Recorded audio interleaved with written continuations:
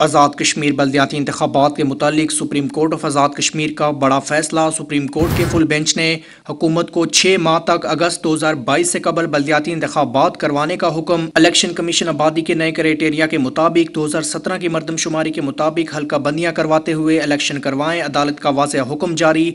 Chief justice Supreme Court of Azad Kashmir Raja Saeed Akram की सरबराही में justice Khawaja Naseem Ahmed, justice Raza Ali Khan और जस्टिस यूनस ताहिर पर मुश्तमिल फुल कोर्ट ने फैसला सुना दिया। असिस्टेंट एडवोकेट जनरल ने अपने दलाल देते हुए कहा कि मौजूदा हुकूमत बल्दियाती इंतबात करवाने के लिए तैयार है और मौजूदा वजी अजम आज़ाद कश्मीर सरदार अब्दुल क्यूम खान न्यासी पहले ही आज़ाद कश्मीर में बल्दियाती इंतबात करवाने का ऐलान कर चुके हैं। नई नोटिफिकेशन से लोगों के एतराज़ात और तहफात भी खत्म होने चाहिए। हुकूमत हर सूरत आइन कानून की हुक्मरानी पर यकीन रखती है और अदालती फैसलों पर अमल दरामद को भी यकीनी बनाएगी। नए नोटिफिकेशन के मुताबिक अब कम अज कम दस हज़ार और ज़्यादा से ज़्यादा पंद्रह हज़ार की आबादी पर एक यूनियन मुश्तमिल होगी। इस तरह वार्ड म्यूनसिपल कमेटी वगैरह की आबादी के हवाले से भी इस नोटिफिकेशन में ज़रूरी तरमीम कर दी गई है, जिनसे अदालत उज़मा ने इतफाक़ किया है। बल्दियाती इंतबात दो हज़ार सत्रह की मरदमशुमारी के मुताबिक होंगे। P T I Azad Kashmir और अवाम का Supreme Court of Azad Kashmir के इस तारीखी फैसले पर खैर मुकदम।